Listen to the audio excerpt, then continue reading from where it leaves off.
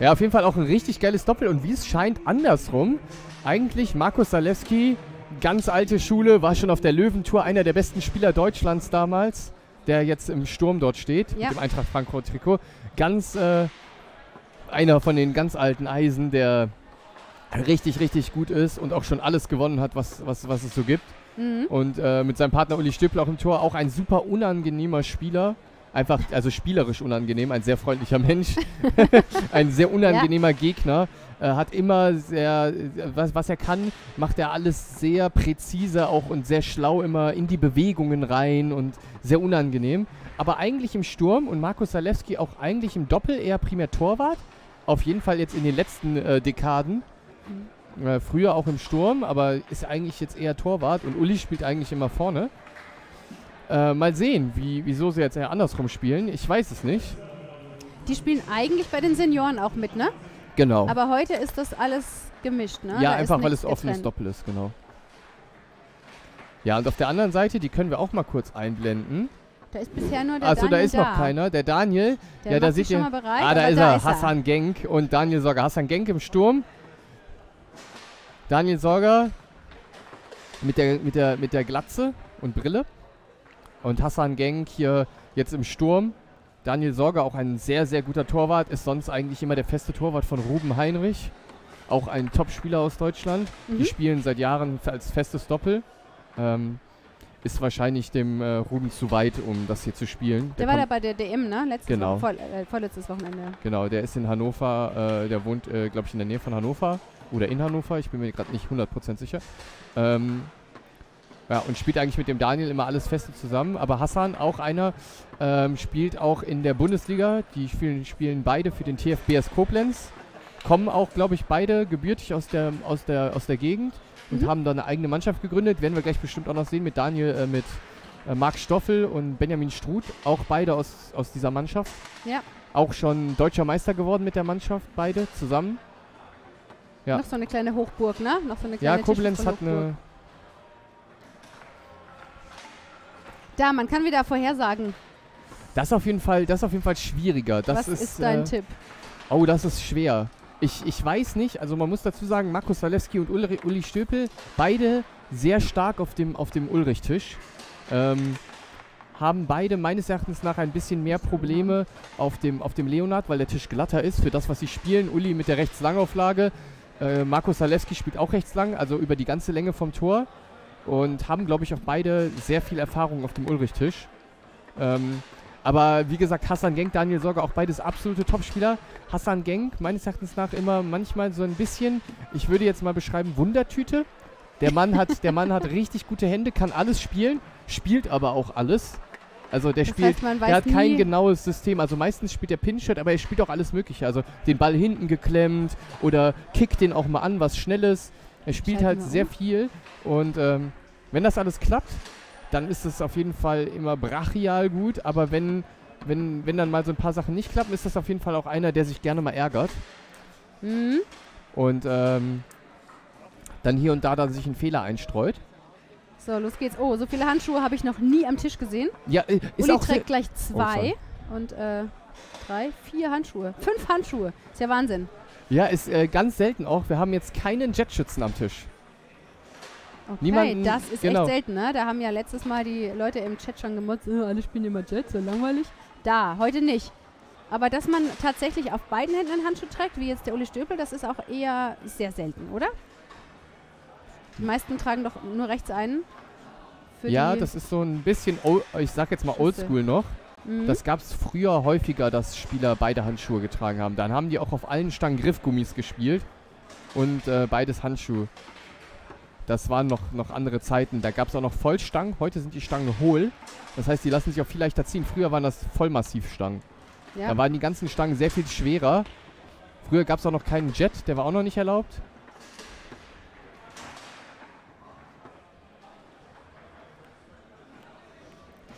Da, hier, es wird schon wieder diskutiert. Jettet Uli nicht von hinten. Das werden wir gleich sehen. Das, ähm.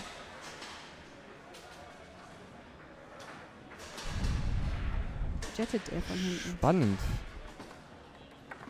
Sieht nicht so Selten. aus, weil Jetten mit dem Handschuh ist schwierig, oder? Das rollt doch dann hier so. Nee, die beiden sind auch aus einer. Äh, äh, die kommen beide aus, aus Kickersport, da gab es noch keine. Da, da gab es noch keinen Jet und ich glaube, das wird auch nicht mehr passieren, dass die beiden anfangen werden mit, äh, Mit dem dem modernen Jetschießen. Ja. War das früher echt verboten? Ja, ich ja, nur, das das Kurbeln ist verboten und Jet muss man ja vorher anhalten, ne? Das ist ja keine, Nee, ganz früher gab es das nicht. Umdrehung. Und hier der Hassan jetzt auch mit dem schnellen Pinshot.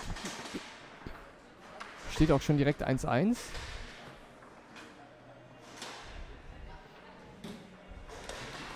Ja, ist auch interessant, dass sich so ein Spielstile auch ändern über die Zeit, ne? Ja, sehr. Also das, äh, das heutige Spiel unterscheidet sich auch sehr zu dem, zu dem, Sp also zu Spielen von früher, wenn wir jetzt so 20 Jahre zurückgehen.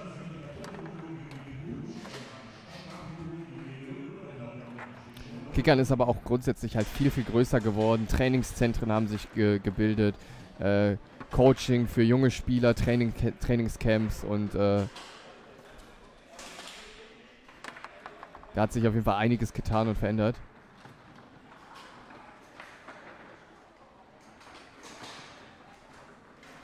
Ja, ich bin mal gespannt. Siehst du das auch ah, im Spiel? jetzt hier. Kannst du das im Spiel sehen? Das ist ja ein bisschen so oldschool gegen, ähm, ich sag mal, ein bisschen Man sieht jetzt. modern. Oh, da wird diskutiert. Ja, es wird diskutiert. Ich weiß auch wieso. Diskutieren jetzt hier beide. Und zwar ging es darum, ging es darum, dass der äh, Markus Zalewski links den Ball gegen die Puppe hat laufen lassen, gegen die ganz unten, wo er gerade auch mit dem Finger drauf gezeigt hat, auf der Fünferreihe. Ja. Und wenn man die gegen die Puppe lauf, laufen lässt, also abtropfen lässt, nennt man das, dann darf man den Ball, wenn er sich noch bewegt, spielen. Mhm. Und jetzt wird gerade darüber diskutiert, ob der Ball gelegen hat. Weil die bei, also Daniel Sorger ist davon ausgegangen, dass der Ball lag und hat deswegen auch Stopp gesagt. Man hat gesehen, er hat die Hand gehoben. Ja. Und sie haben sich aber geeinigt. Anscheinend spielen sie einfach weiter. Weil, so wie ich das auch gesehen habe, hat Markus Zalewski den Ball in die Puppe laufen lassen. Das sieht dann aus, als wird der Ball schon liegen. Aber ich bin mir auch nicht 100% sicher. Und jetzt natürlich direkt die mentale Situation danach. Direkt den Fehler gemacht. Und hat sich blocken lassen ins eigene Tor.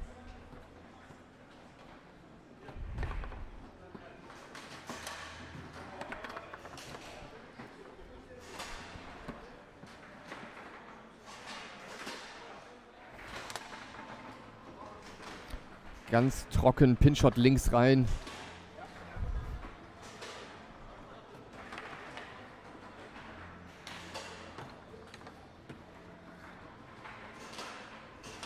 Jetzt hier auch wieder den Pass nicht gefangen, Markus Zaleski.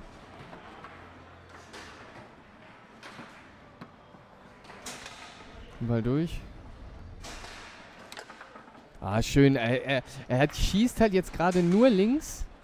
Immer links in die Ecke rein. Und äh, Uli Stüppel schafft es noch nicht, da den Ball sich irgendwie zu sichern. War jetzt auch noch Fehler.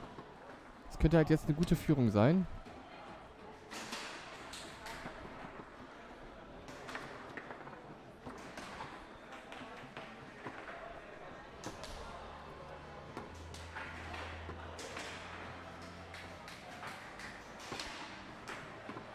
Täuscht jetzt hier an, guckt sich einmal an, was macht der Gegner und spielt einen Pass.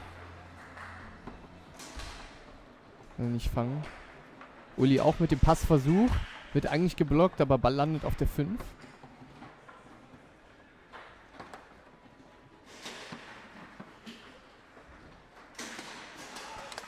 Ah, täuscht jetzt hier links an, hat halt nach oben gezogen und hat dann doch in die Mitte geschossen. Und jetzt, jetzt sind sie wieder da. Oh, warte, das ist falsch.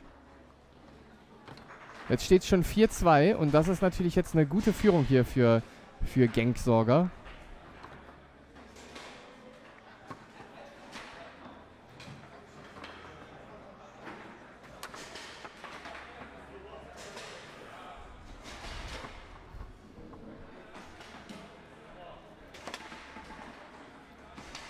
Schön.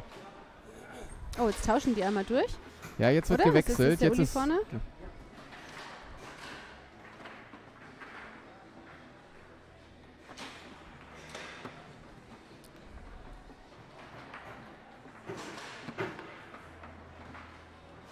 Der ist so ein bisschen gefürchtet, habe ich schon so rausgehört.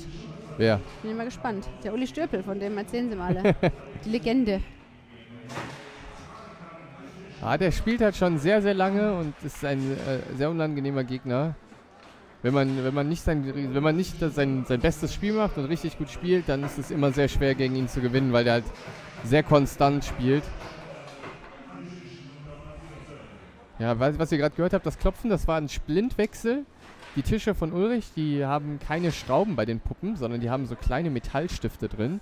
Und dann kann man die Puppen eigentlich relativ zügig wechseln. Und auch die Lager kann man quasi rausdrehen und einfach die komplette Stange rausnehmen, um halt schnell Puppen zu wechseln. Mhm. Das gibt es bei, glaube ich, fast keinem anderen Tisch. Mittlerweile hat Leonard auch ein Wechsellager.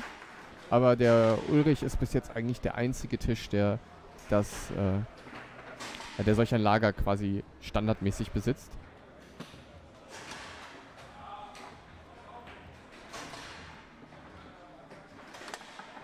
Oh, und jetzt durch die Mitte. Und jetzt holen sie sich hier den ersten Satz.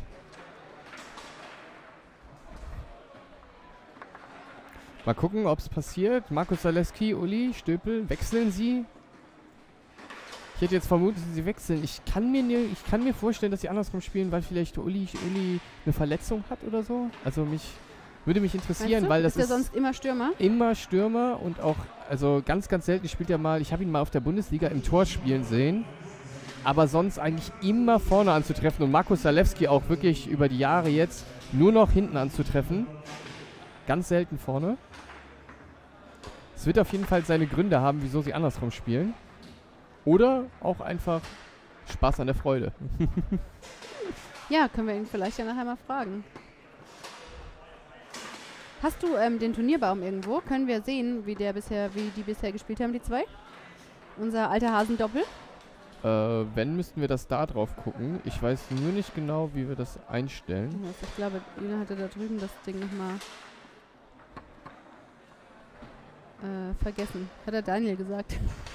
Dann weiß ich es gucken wir leider nachher nochmal, wie die beiden bisher gespielt haben. Schießt hier den ersten rein.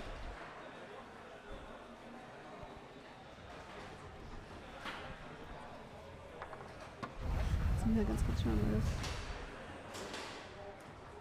Oh, okay, das war's nicht.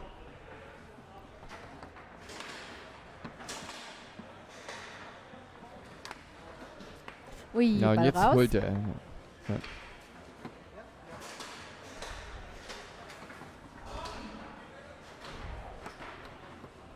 Das ist auch wichtig, jetzt hier mal ein paar Bälle von Hassan zu halten, weil er hat eine ziemlich gute Quote geschossen, um es hier sich ihm ein bisschen schwerer mal zu machen.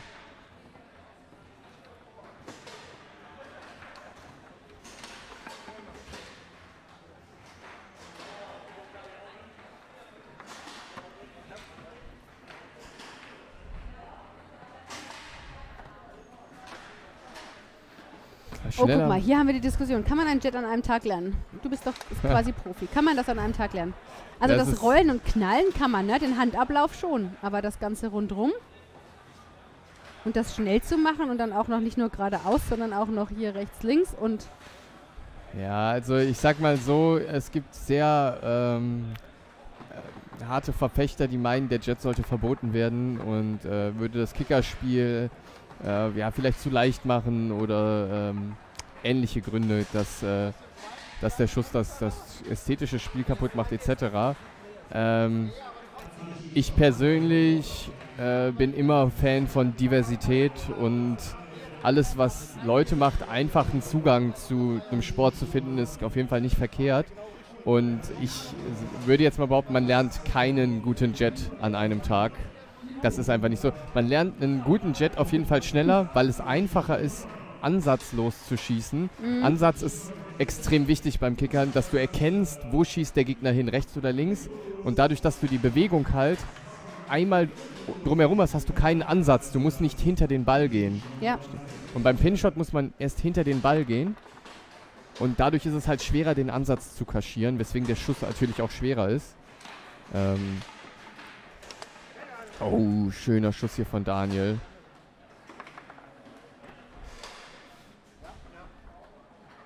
Ja, also wie Also gesagt. die reine Handbewegung, um so ein bisschen in der Kneipe anzugeben. Ah, es ist schon schwierig. In der Kneipe steht ja auch nicht immer der beste Tisch. Und wenn die Stange ein bisschen, bisschen äh, äh, also nicht so gut läuft, dann ist ein Jet gar nicht so leicht zu schießen, weil du halt nur das Handgelenk am Griff hast. Mhm. Also. Und man lernt halt auch wirklich nicht, also so ein, so ein Kickerschuss. Und wir reden ja davon, dass man, dass man äh, den Ball wirklich äh, präzise in beide Ecken zum Beispiel schießen kann. Ja. Das lernt man nicht mal ebenso. Da muss man schon viel Zeit reinstecken. Aber es stimmt schon, dass man mehr Zeit in den Pinshot stecken muss.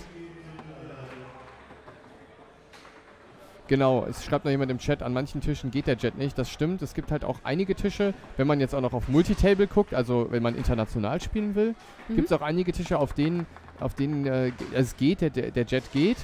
Aber es ist auf jeden Fall schwieriger. Da muss man auf jeden Fall mehr Zeit äh, reinstecken. Zum Beispiel auf dem Bonzini ist der Jet nicht so leicht zu schießen. Da muss man schon einiges an Zeit reinstecken, weil die Puppen eine das? andere. Die Puppen sind aus Metall Mhm. und die haben ein anderes Drehmoment. Dadurch äh, muss man die Stange halt anders drehen, weil die halt Ja. unten sehr, sehr schwer ist. Und hier sind die Puppen ja äh, sehr, sehr leicht. Die Puppen sind immer kopfgewichtet. Die haben ein Gewicht oben im Kopf drin, dass die Mhm. immer runterfallen, dass die Püppchen quasi immer auf dem Boden stehen. Beim Monzini ist das, das zwar das gleiche, aber es liegt daran, dass die Puppe so schwer ist, Ja. weil sie aus Metall ist.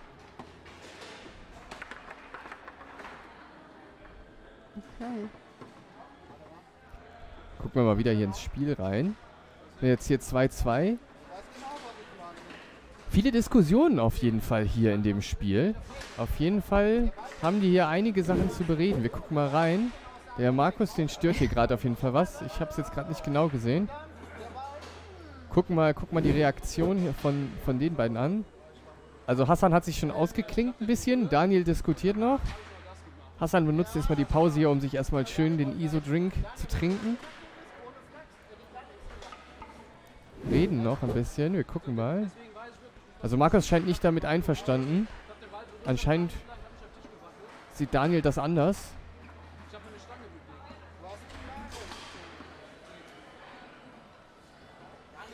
Hab schon, aber meistens ist ja kein Schiedsrichter dabei, ne?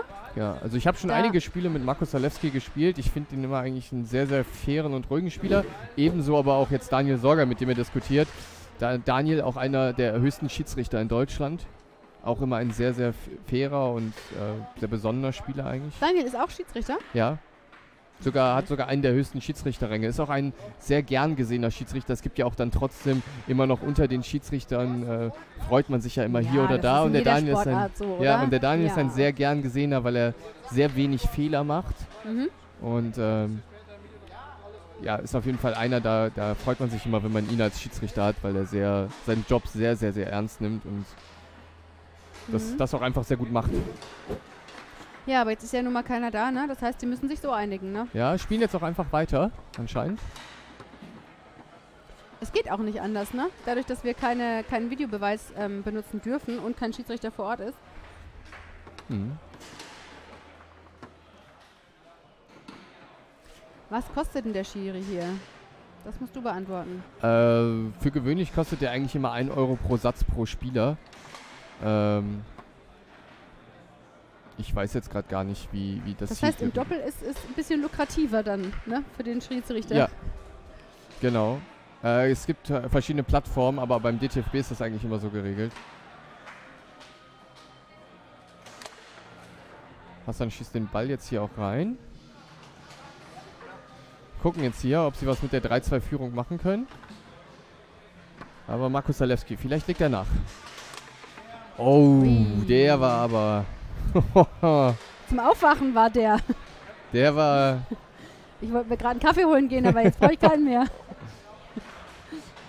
Ja, aber Hassan macht sie ihm hier nicht leicht. Er hat schon wieder durchgelegt. Jetzt hält der Uli.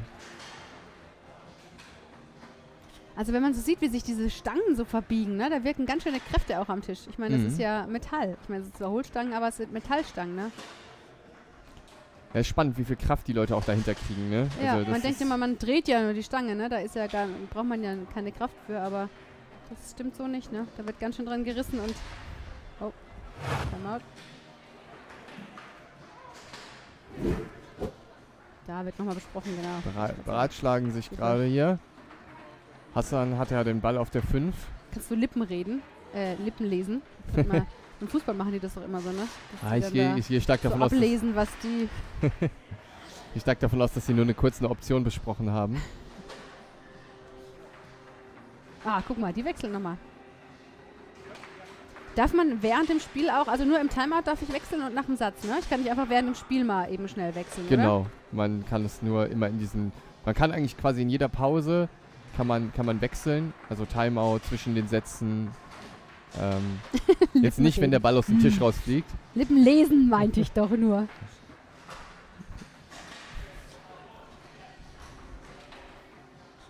Ja, und irgendwann wird es hier auch international. Wir sind aber immer noch der DTFB, ne? Und deshalb ähm, haben wir einfach mal auf Deutsch angefangen. wir arbeiten aber daran, dass das auch international wird, dass es vielleicht irgendwann auch noch parallel hier nebenan oder so ähm, englische Kommentatoren sitzen. Das ist ja eigentlich gar nicht mehr so schwierig technisch, wenn mal alles läuft.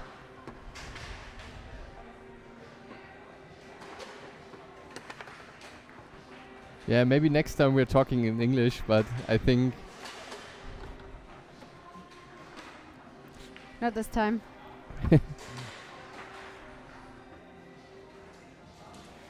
ja, vielleicht für die Leo WS, ne? Äh, soweit ich weiß, haben wir da auch eine Kooperation, dass wir das auch auf für den englischsprachigen Raum übertragen.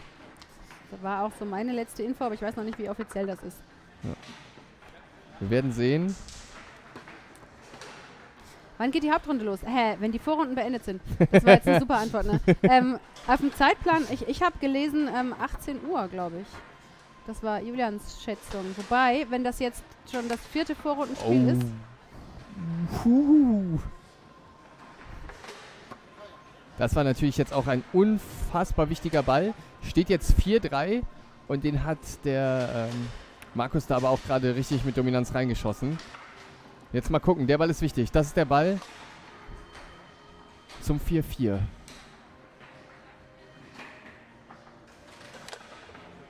Schießt ihn rein. Genk Sorger können jetzt das Spiel schon gewinnen und das Match für sich entscheiden. Und Zalewski, Stöpel können sich hier in den Entscheidungssatz begeben, wenn sie den Punkt machen. wann hat das Turnier begonnen? Ähm, wir haben ein bisschen verzögert um. Wann hat 11 das Uhr, Turnier glaub begonnen? ich, um kurz nach 11. Uhr. Ja.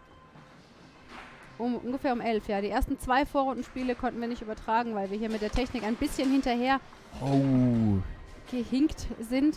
Ähm, aber seitdem sind wir auch hier dabei. stark. Da holen sie sich den Satz und das ist jetzt wieder, und jetzt ist wieder alles offen. Da sind Ja? wir wieder. Ja, jetzt ist alles offen. Den einzigen Vorteil, den natürlich jetzt Genk Sorger haben, ist natürlich der, der, der Start. Die haben jetzt halt Auflage und kriegen den ersten Ball auf der 5. Ja. Aber sonst ist jetzt Ist wieder das so ein alles großer offen. Vorteil im Spiel? Ist auf jeden Fall ein Vorteil, einfach aus dem Grund, dass du äh, ähm, ja beim Kickern ja immer das Problem hast, also was heißt das Problem, aber das Spiel ist ja so aufgebaut, dass du kein, du hast ja kein reaktives Spiel.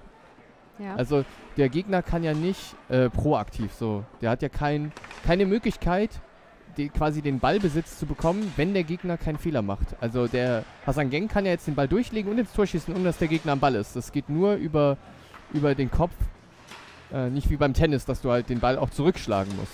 Ja. Das heißt, die Auflage ist natürlich extrem wichtig, wenn man keinen Fehler macht. Ist natürlich, ist natürlich aber auch die Sache, dass die natürlich jetzt auch in den nächsten Satz gegangen sind, weil die anderen den Satz gewonnen haben. Deswegen hat er ja auch Auflage. ja. Das heißt, ne, man geht natürlich auch da mit dem, mit dem Gedanken rein, dass der Gegner gerade den Satz gewonnen hat. Und wie man gesehen hat, hat auch Hassan den ersten Satz, den ersten Ball direkt verwandelt. Aber Marco ist eigentlich auch jetzt sehr gut geschossen bis jetzt. Verwandelt. Das ist auch immer so ein schönes Begriff, schöner Begriff. In was denn? ist immer noch ein Ball. Jetzt ist er auch raus. Guck mal. Ist denn ein, äh, ein Jet zu spielen schwieriger, weil die Griffe eckig sind? Äh, Also nein. beim, beim ähm, Leo sind die, Tische, die Griffe ja rund, ne? Rollt das nicht ein bisschen schöner? Oder macht das das Griffband wieder wett? Das- du lässt den ja wirklich so über das Handgelenk drüber rollen, ne? Ja, ist, äh, also für mich persönlich kann natürlich jetzt nicht für alle sprechen. Also ich finde, es macht keinen Unterschied. Also, also du hast keinen signifikanten Nachteil oder Vorteil. Es ist einfach ein bisschen anders, weil der Ja, Dick. du hast auch sieben Meter Tape um dein Handgelenk rum, ne? Vielleicht macht das einen Unterschied. Ja, aber für Aber- gewöhnlich, also ich habe jetzt auch von nicht vielen gehört, also wenn man halt auf hohem Niveau Kicker spielt und viel trainiert, ist das, glaube ich, vollkommen irrelevant. Also Okay. damals, als ich angefangen habe, habe ich den Unterschied immer ein bisschen gemerkt, Ja. aber äh, es ist wirklich minimal. War jetzt Da hier auch machen dann die Puppen und, und der Ball mehr aus. Ja, genau. Also der Ball, der Ball ist hier meines Erachtens nach sehr entscheidend, weil der Ball halt so griffig ist. Deswegen muss man sehr viel weniger ge, ähm, Energie benutzen, um den Ball halt in die Ecken, also nach rechts oder links zu bewegen, einfach weil der Ball so griffig ist. Mhm. Und das muss man halt im- Also der einplanen. klebt quasi mehr einfach Genau. an der Puppe und der. Klebefaktor ist höher. Ja. Und der wird auch noch klebriger, ähm, je länger das Spiel dauert, ne? Hast du gesagt? Ja, also ich finde der, der Ball, ähm, der hat andere Abnutzungserscheinungen. Ich finde von der Griffigkeit her ändert sich nicht viel. Da, da, da der Ball so, so gummiert ist, kriegt der halt relativ, äh, oh, schöner Ball jetzt hier, kriegt der relativ zügig äh, ein paar wieder, Katschen. Also das ne, hier oder da, wo man mal auf den Ball draufhaut. Ja. Aber ne, so ist es halt. Ne? Materialermüdung gibt es immer. Beim Leonard ist es zum Beispiel anders. Da wird der Ball, da, da ist die Abnutzungserscheinung dann halt eher, dass der Ball glatter wird. Mhm.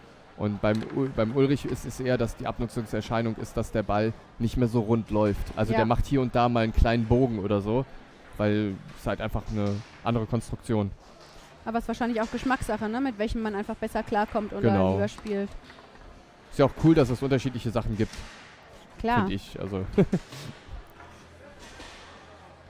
und ich finde, beide Tische spielen sich sehr, sehr gut und sehr angenehm. Halt ein bisschen anders, aber. So, erstes Timeout jetzt hier, 2-2. Ja, die wechseln recht regelmäßig durch, ne? Ja, der Uli geht jetzt, der Uli geht jetzt wieder in die Verteidigung, hat Timeout genommen. Timeout genommen? Ist schon wieder eine Diskussion, glaube ich. Zumindest eine kleine. Irgendwas anscheinend. Hassan passt anscheinend der Schlag nicht. Man merkt auch, guck, die Gemüter erhitzen sich ein bisschen. Ja. Ist, nicht mehr, ist nicht mehr so ruhig. Das ist das, was ich vorhin meinte, was, was, was man manchmal hat. Ja. So, jetzt von außen. Irgendwer von außen sagt jetzt auch noch was. Gucken wir rein. Uli scheint auch nicht. So, die Gemüter sind auf jeden Fall erhitzt. Wird noch diskutiert. Ich gehe mal stark davon aus, dass es um die Schlaghärte geht in den Tisch. Der Boden hier in dieser Halle ist sehr weich. Mhm. Das heißt, die Tische stehen sehr, also stehen stabil, aber da der Boden weich ist, sind natürlich Erschütterungen viel schneller zu merken. Und auf Top-Niveau merkt man das natürlich dann ja. wenn man dann in den Puffer fährt. Und anscheinend äh, ist der Hassan da schon. Ja, das ist so ein ganz klassischer ähm, Turnhallenboden halt hier, ne? Der so ein bisschen mitschwingt. Ja, und scheint auf jeden Fall, scheinen sich hier nicht, nicht richtig einig zu werden. Ja, Schiri, ne? Aber eigentlich, es wäre gut gewesen für diesen Tisch, für dieses Spiel, wäre einer da gewesen, ne? Weiß man ja vorher Ja, nicht. mal gucken. Immer noch nicht, sind noch, sind noch nicht d'accord miteinander. Mal gucken, ob sie sich noch einig werden. Ich bin gespannt. Aber die Gemüter erhitzen sich. Also die, sieht man jetzt auch. Der Uli jetzt auch schon. Gucken. The set score. Äh, it's one, e- one each. And it's two each in the final set.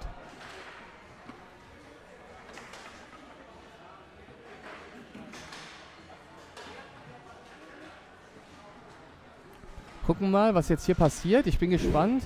Für mich sieht es ganz klar nach einer Situation für einen Schiedsrichter aus. Sie nicht ohne Schiedsrichter weiterspielen. Reden jetzt auch nochmal kurz. Die Pause tut hier Hassan, glaube ich, auch ganz gut, wie man sieht. Kommt jetzt hier nochmal ein bisschen runter. Wird wieder ein bisschen ruhiger. Ja, die anderen beiden diskutieren auch noch immer fleißig. Das sind, das sind die Momente, wo ich meine, wenn, wenn, Hassan, wenn Hassan Genk jetzt weiterspielt, dann hat man die Möglichkeit, dass er halt hier und da wahrscheinlich einen Fehler macht, weil er, weil er weil sich sein Gemüt erhitzt hat. Mhm. So, aber jetzt einen Schiedsrichter im Nachhinein an den Tisch bringen, ist auch nur. Es ist eigentlich die Ach, guck gängigere. mal, da kommt der Thomas, oder? Ist das der Thomas Haas als Schiri? Sehe ich da gerade auf Kamera 5? Guck mal, machen wir kurz 5 an. Ja, Da, Thomas Haas hier, Thomas Haas Einzelweltmeister. genau, Ja. und auch, und auch äh, sehr guter, auch ein sehr guter Schiedsrichter übrigens. Ähm, schießt jetzt hier das Spiel und jetzt geht's weiter. Und wie es für mich aussieht, haben die den Ball abgegeben? Ne? Oh, und blockt den Ball jetzt direkt. Das ist natürlich nach so einer Diskussion natürlich, äh, das fühlt sich sehr gut an. Wenn man natürlich mit dem Gegner diskutiert, denkt man, es hat recht und dann kriegt man den Ball und schießt ihn dann natürlich auch noch rein. Mhm. Aber der Schiedsrichter kann ja jetzt auch erst ab jetzt ähm, Genau. schießen. Ne? Das heißt, dieses un unaufgelöste Disput ist ja nicht weg. Ja, häufig ist es halt Also- so, dass man auch dem Schiedsrichter nochmal die Situation schildert Ja. und, im, und der Schiedsrichter entscheidet im Nachgang dann noch, in, ähm, wer von den beiden Parteien dann Recht bekommt. mhm. Einfach wenn es Ja, zum hat Beispiel die wenn es Hände auf jeden Fall. Wir erklären nochmal ganz kurz für die Leute, die ähm, sich nicht so gut auskennen. Ne? Es gibt einen Zeitschiedsrichter, ne? genau. der die Zeit stoppt, ähm, wenn Leute den Ball zu lange behalten. Oder, wie in dem Fall, was macht der jetzt? Der legt die Hand da hinten auf den Tisch, ne? Ja, hier hat man es gerade auch gesehen. Kurz, sorry, dass ich unterbreche, aber da hast du das gesehen, da hat der Schiedsrichter auch gerade ein, ein Foul gecallt. Da, da hat gerade der, der Thomas Haas hat jetzt gerade hier das Foul gecallt und hat gesagt, äh, guck mal kurz rein, es geht glaube ich schon weiter. Ja, und hat dem, hat dem Hassan Genk den Ball auf die 3 gegeben und das ist natürlich jetzt auch tödlich, weil jetzt steht es 4-2 und jetzt, jetzt müssen sie. Aber erklär nochmal kurz für die Leute, die sich nicht auskennen, was er macht mit den Händen auf dem Tisch. Er Äh, er- fühlt, ob der Tisch ähm, wackelt, ne? Oder wie Genau, sehr der die wackelt, Erschütterung. Oder? er, er fühlt halt, also es gibt halt genau im Regelwerk, ist, also was heißt genau, aber es ist genau dokumentiert, ab welcher Härte ungefähr dass, äh, dass der Ball abgegeben werden muss. Und hier ist auch schon der Sieg. Da ist es vorbei. Das heißt Ah. natürlich, man merkt, da die Diskussion hat da vielleicht auch Genüge Mm. getan. Das hat da die Spielunterbrechung. Hassan hat dann drei gute Aktionen gemacht und äh, hat hier das Spiel recht zügig für sich entschieden.